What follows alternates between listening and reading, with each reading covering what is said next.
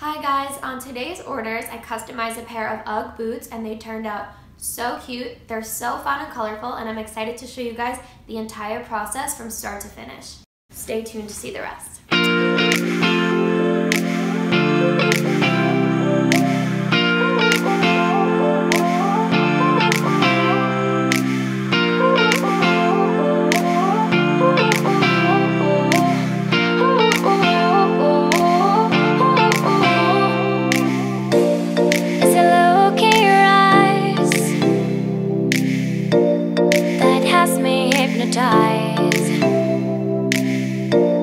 And I'm in your attention I wanna be by your side.